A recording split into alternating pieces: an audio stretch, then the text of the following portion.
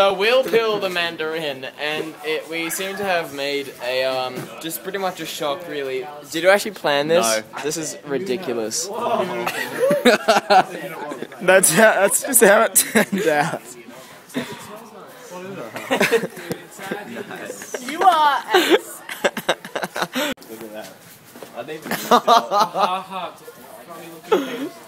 Interesting, Russell.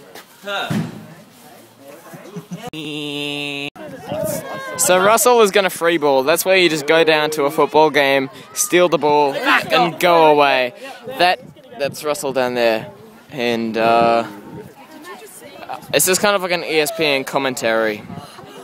While I slowly wait. Okay, he's approaching the ball. He's within the 10 meter mark of the. Oh, oh, oh! Fail. He failed.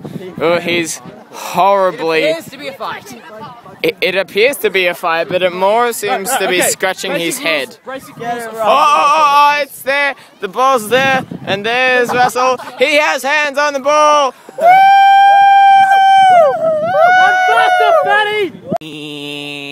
So Hugh, tell everyone about your new invention. What can you imagine? The, uh, Oh, grass. no, the uh, other one. Um, having sex on a wow. Foreskin. Oh, foreskin condoms. well, basically, it's condom, but it's not actually.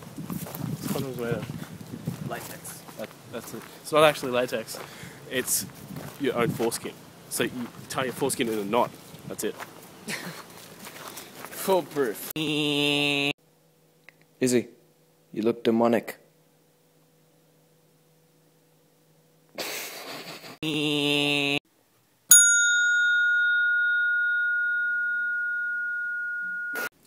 Hello, and welcome to Cooking with Jack.